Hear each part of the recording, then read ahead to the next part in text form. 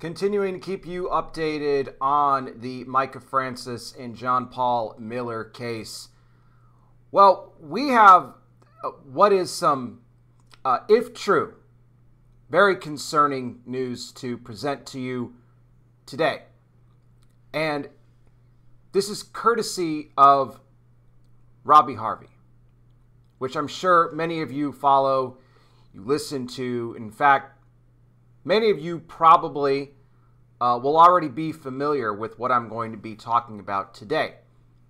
But nevertheless, I still want to discuss it because it is something that Robbie had encouraged others to talk about because they want to get help from the general public about what we're going to talk about here. And so I wanted to provide that update for my viewers so they can be informed. I know a lot of you found my channel through the Mica Francis and John Paul Miller case, so I felt a duty to uh, come on here and present this information uh, to you. So that's what we are going to do. Now, previously we had heard that there was going to be multiple individuals, alleged victims of John Paul, that were going to be coming forward to uh, file lawsuits um, involving inappropriate behavior to them at the hands of JP. We're still waiting on that to happen, okay? Uh, we don't know when exactly it's going to happen. We know that a couple of weeks ago, uh, we heard that it was imminent, that there were multiple. We did not know their ages. We did not know if they had any affiliation to the church. And so that is what we are still waiting for. But speaking of victims, there may be one out there right now that was allegedly, and again, I am saying allegedly, kidnapped by JP. That individual's name is Katie. And we're going to get into this phone call that Katie had apparently made to Robbie Harvey. And then also, we're going to talk about another call that Robbie received from Katie's alleged mother, Becky. There's a lot of talk going around as to whether or not the calls were real. Is it was it fake? Is it AI related? Maybe so. But there's a chance that it's not. Now, maybe by the time that some of you watch this video, Robbie would have already come forward and and said that well, it was cleared, it was it was fake, or or the victim was found, and if that's the case, well then you know then there'll be a resolution to that. But again, I want to talk about this because, you know, Robbie just did this live stream on Sunday, August 4th. So I wanted to talk about it. We're going to dive in in just a second, but before we do, I want to welcome all of you to Not by Sight News. Yes, a blind Christian guy here reporting to you, reminding you as always that we walk by faith, not by sight. For someone like me, that's kind of my only option. Speaking of that, for those interested, you want to know my story. How did I go blind? How do I operate my entire ministry without being able to see? I made a video that explains it all. You will find a link to that in the description section of all my videos. And if you really enjoy and appreciate my work and you would like to contribute with a donation to help me out, a couple different ways you could do that. One by just hitting the super thanks button on the YT video or become a monthly contributor by joining my Patreon for as little as five bucks a month at patreon.com slash not by sight news. That link is in the description. You can check out all the cool features Patreon has to offer. Big thank you to everybody already contributing and those thinking of doing so. Thank you as well. Your generosity is greatly appreciated. Now, I am going to, for those that are interested, and again, some of you may have already watched Robbie's live stream, and maybe you just want to get my my take on it, just my opinions. I know a lot of you say that, uh, you know, you watch me not because I'm not a clip channel, as I've, I've said multiple times before. I'm a commentator. You know, we just do the, you know, we just talk here. We just, you know, present the information and then you know let you guys make your own decisions about what you think about it. And a lot of you appreciate the recaps and you know you don't like you've told me you know you don't necessarily like the clips and you don't like the sound effects and the fancy graphics the bells and whistles and all that.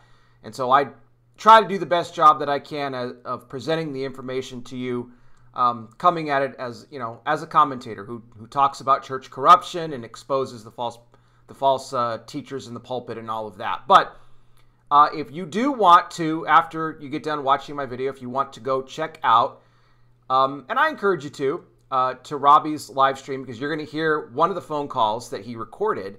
I will put a link to his video in the description here of my video, and you can go and check it out. So let's get into it. Robbie did this live stream on Sunday, August 4th, and he talked about a phone call that he received two weeks prior. Uh, and I, he never said the exact date, but I, I figured that that would have been on, if the if it was if I was doing my math correctly, that would have been on Sunday, July 21st, that he would have received that phone call. He said he received a phone call around 11 p.m. Eastern time. Now, he said that he did not record this particular phone call because as the call was going on, it only lasted two minutes. He was grabbing his wife's phone. He was trying to get his FBI contacts and everything like that to present the information that he was being told on the phone. So, uh, this, by the way, too, was Robbie talked about. He had also done a live that same night on July 21st. And this call, interestingly enough, came into him about 40 minutes, 45 minutes after he got done with his live stream. So remember that. Uh, and the timing, again, I think is, is important to note. So he gets a phone call. He says it sounds like a young woman, uh, probably in their teens. And she said that her name is Katie. And she says that she was with JP. And she said that JP wants to talk to Robbie Harvey. Robbie said, I'm not going to talk to that man. I've said this before multiple times. He called the police on me before. And when he did that, he lost his right to talk to me you know, even text me, all of that. Robbie has said that multiple times on many of his videos over the past several weeks. But then in the background, Robbie could hear JP's voice. And again, Robbie had said, I don't want to talk to him, I'm not going to talk to him. But he could hear JP's voice in the background say, Well, you're gonna. Okay? Now, at this point, he claims that Katie says, and confronts JP and asks him, and says, Did you call the police on him? Why did you call the police on him? And then he could hear a brief little argument exchange between the two. He then hears Katie begin to cry. She says that she is trapped. She doesn't know where she is. JP won't let her go. And Robbie's, you know, saying, "Look, stay on the phone with me. Stay on the phone. You know, do you know where you are?" And she's again, she's just, "I don't know." She could then hear whispering. Robbie could hear her whispering and, and talking probably to JP. Uh, and again, more crying, but that was pretty much it. And then the call dropped. Okay. Now, this was a, you know, no caller ID here on the phone. So that's another, you know, thing to note here. Uh, but again, was this true? It, is this alleged Katie? Is this a real individual? That's the question that Robbie was asking. Now, he did call police and he contacted the FBI. Now he credits Myrtle Beach police. He says they, he, he said, look, there's a, I got a call from a young lady. Her name was said she was Katie. She was trapped. She didn't know where she was, and and so police showed up to JP's house that same night. Okay, again, this was this would have been on the 21st of July. Now Robbie claims that police arrived. They didn't find anything at the home. Says that JP was apparently very cooperative with authorities in this. And again, they cleared him. There was no Katie there. They didn't find anybody except JP. Now, before I get to this next call, let me just interject my thoughts on this. Why would somebody who was allegedly kidnapped call Robbie Harvey, of all people, instead of the police? Why would JP, if in fact he did kidnap this Katie, and if this call is real, why would he instruct Katie to call Robbie Harvey. And if you were kidnapping somebody, why would you want to put it out there to anybody that that's actually what you were doing? This is a valid question, I think, that I have in this. So, and many have said that JP is doing this to mess with Robbie, and we're going to get to the second call where, where a lot more of this is going to maybe start to make sense.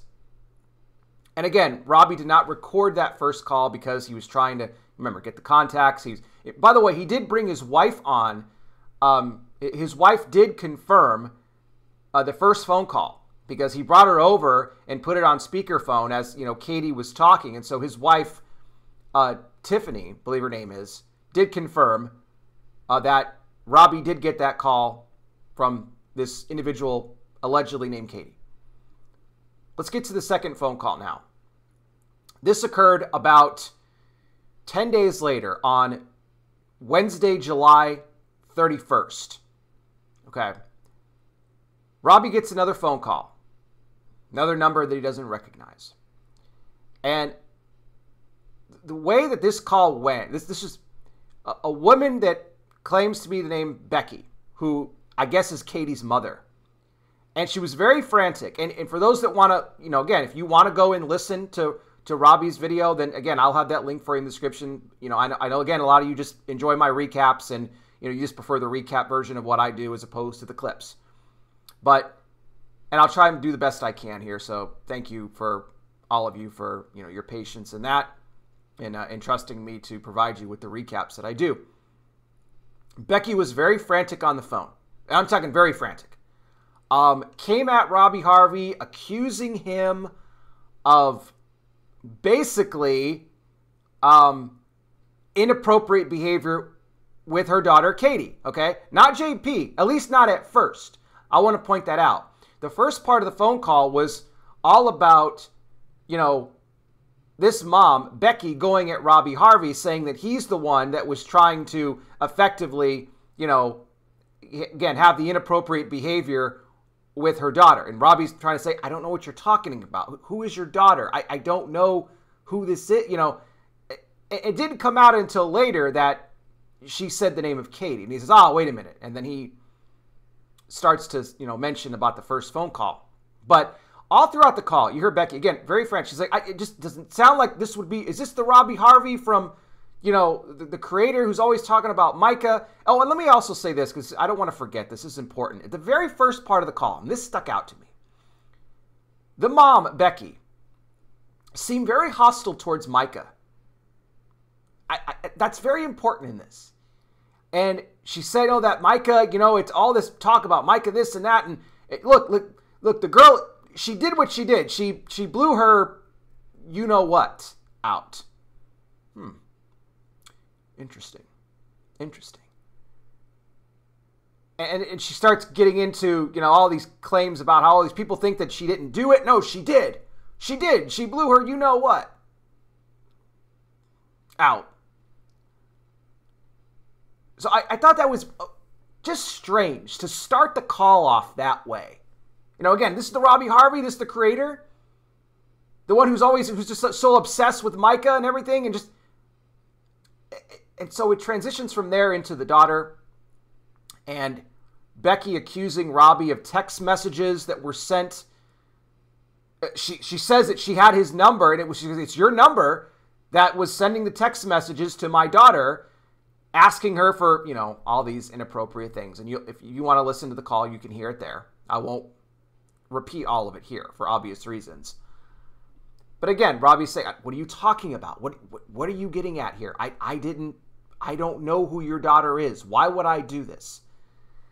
And, and she she threatens to tell his wife, and he's like, "You can tell my wife right now." And Robbie brings his wife on the call, uh, and and she's right there, and she's like, "You got to know what your husband did." She's like, "Yeah, I'm I, I'm gonna show you." And and all this while, she's saying that she's gonna. She's like, "I'll send it to you." She tells Robbie, "I'll send you the text messages I have.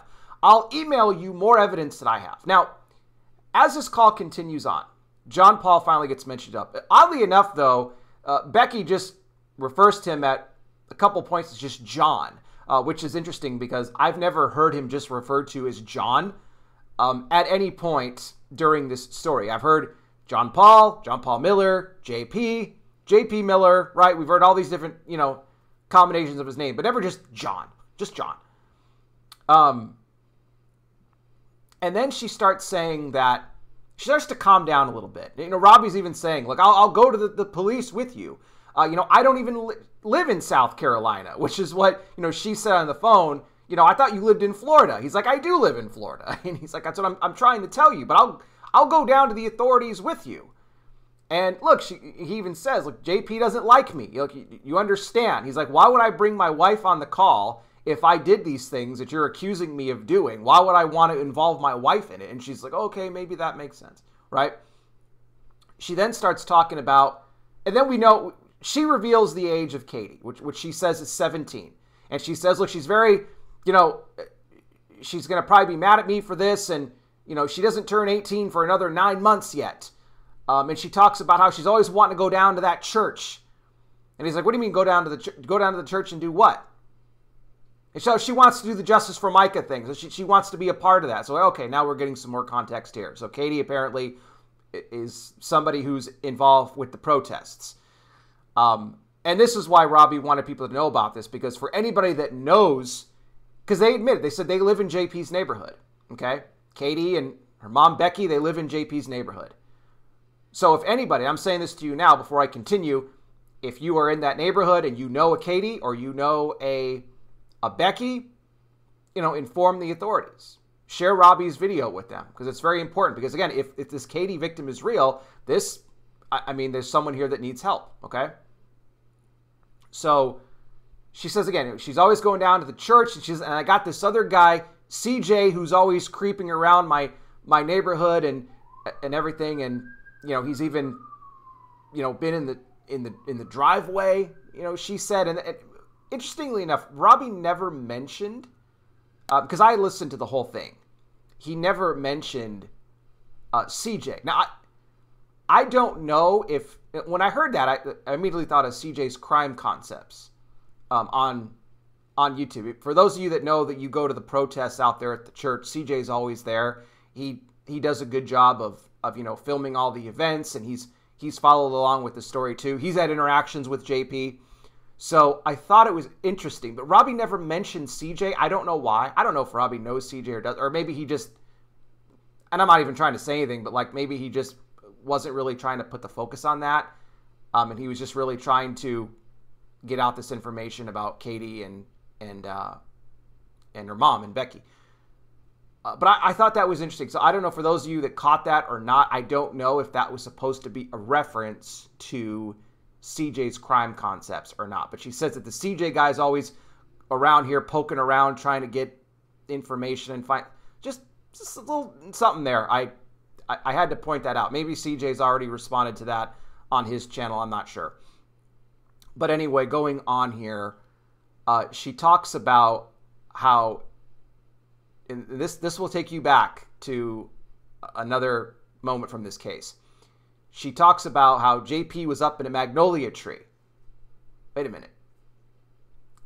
Isn't that when he fell out of the uh, allegedly fell out of the tree that was I guess in his ex-wife Allison Williams' yard? Remember when he says he broke his back and everything else like that or he allegedly broke his back in all these places? So is Becky claiming that JP was also in her tree? and, and, and spying or whatever. She says he's up in the magnolia tree. Now, you know, Robbie says that he talked to several people that are in that neighborhood who claim that there are no magnolia trees in the neighborhood at all. But others are saying that in fact there are magnolia trees in the neighborhood. I don't know what's real and what's not. Okay, I, so it's both sides here. People are saying there is a tree, there are those trees, and there are not those trees. So I don't really know if that's the case. But as the call continues, she starts to calm down a little bit. And you know, she then she then starts to shift and say, "Okay, well maybe it wasn't you, Robbie, after all." And you know, maybe look this jump and then she's and then she says it. She, this John John guy, John Paul is is trying to also have inappropriate behavior with my daughter. And, and again, she mentions, you know, her being just just 17. And so it, it, the weird shift there and how it, it went from him to from Robbie, then it's to JP. Then she brings CJ into this, and she says that when her daughter gets home, she's going to get her phone and she's going to go through the text messages. Uh, but then at one point on the call, she also claimed that she already had the phone. So there's some inconsistencies here in the story. I also want to point out this was probably the biggest takeaway from the call that she gave to Robbie when Robbie talks about how he got a phone call, okay, from 10 days prior, remember, on July 21st, eh, from, from a young individual named Katie. And all of a sudden, she stopped him right there and she said, Oh, wait, she said, Yeah, I know about that. She was in the hotel. Oh, wait, wait, the hotel. The hotel. Now, that was not made known on the first phone call that Robbie received from Katie. She just said that she was trapped. She didn't know where she was. JP wouldn't let her go. But the mom here, Becky, says that her daughter was trapped in a hotel and JP would not let her go. Now, eventually, he did let her go because her mom did claim that at some point she did come back home. So, you know, as far as where she is now, we, we, we just don't know. Um, the call on the 31st of July, she said that when she gets home, she's going to get her phone. You know, she again, she talks about how her daughter is, you know, very strong, and she was worried that her daughter was going to like come after her for Uh, accusing her of things, and all these different creators that are trying to have inappropriate behavior with her. So again, it was very frantic how she was acting on the phone. Robbie said, "Look, I'll help you. Look, email me." He's like, "Email me." And, and this was the other thing I took from the call. Becky said that she had about hmm. uh, let me before I say this. There there is a um, when I listened to the call and just this next part, I sensed a very um, evil spirit behind it.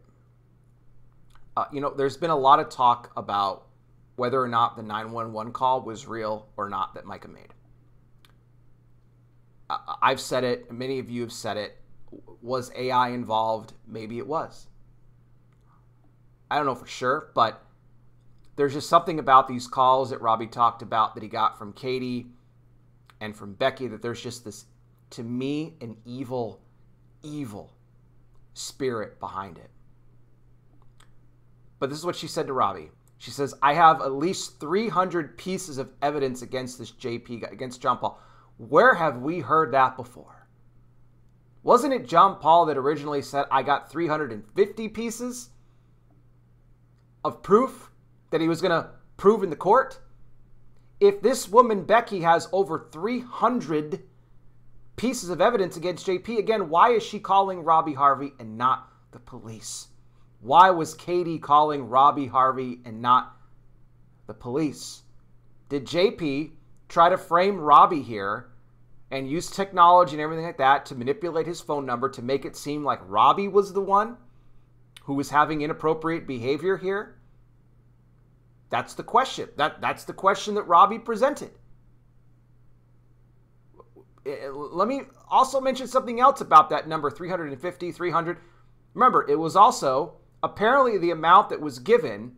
Tricia Ross signed off on these checks from Solid Rock Church under the title of benevolence if they were going to give people $350 to dig up dirt on creators.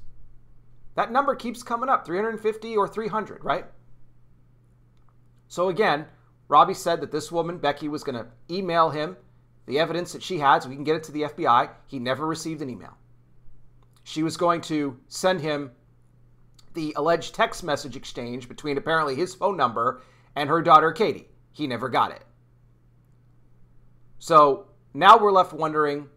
And also, by the way, Becky on the phone was kept saying a couple times, I, I got to take my medicine. You know, I'm sorry that I came at you. Um, so I don't know if that has anything to do with this, you know, talking about taking medicine. But is Becky real? Is Katie real? Is Katie a real victim of JP? Or is this whole thing just made up? Was it a fake phone call to try and stir up problems for Robbie Harvey. Because, again, he's been covering this case. He has a large following. JP doesn't like him, right? I will say this to you. I am stunned that this, you know, we're, we're three months past Mica's unfortunate death. And still, we've had no major arrests outside of Robert Lachelle from the church. But no, he's still out there. I want to hear from you guys, though. You can leave me your thoughts in the comments section. What do you think about this? Is Katie a real victim? Is Becky her actual mom? Do these people exist? Have anybody been able to, you know, corroborate their, you know, them living in the neighborhood, uh, having a relationship with JP of any kind? Let me know what you think in the comment section. And again, I will have a link in the description uh, to Robbie's video if you would like to check that out. Also, don't forget if you enjoy and appreciate my work and you would like to contribute with a donation to help me out, you can hit the super thanks button on the YT video or become a monthly contributor on my Patreon for as little as five bucks a month. Patreon.com slash not by sight news. What I want to do right now, something I do on all these videos, let's end this video on hope. It's part of my ministry outreach. This is an altar call. I've been doing this on my videos since 2016. No matter what it is that I'm discussing in the church, exposing the corruption of the wolves that occupy its pulpits, we always want to give people that opportunity to receive Christ as Savior. That being said, anybody watching now, if you are somebody who is not yet received Jesus as Lord and Savior, you would like to do so, I want to lead you in a prayer to do that right now. This is a prayer you could do in your own words, but I will give you the steps you need to bring it before the Lord today. First thing you want to do right off the top, acknowledge you are a sinner. That is something that we all are. The good news is that God gave his only Son, Jesus Christ, to die on that cross for the sins of all the world, as he died and rose again for you and me. He paid the cost. What you have to do is repent of your sin. That means to turn from sin, not just to say you're sorry and jump back to your old ways, but to actually turn from sin, which are those lifestyles, patterns, habits, behaviors, things in your life that go against the Word of God. If you humbly go before the Lord, though, and ask Him to forgive you, He'll wipe your sin away. The Bible says He doesn't remember it any longer. Then you invite Jesus into your life to be your Lord and Savior. When you do that, you become born again, a child of God. You will have eternal life. Trust me when I tell you there is no greater decision you will ever make than the one you do to give your life to Christ. And I pray you make that decision today. Again, more info down below. Thank you all again so much for watching. I really do appreciate it. I'll be back with more. You guys take care. Please be safe out there. God bless each and every single one of you. And I'll talk with you soon.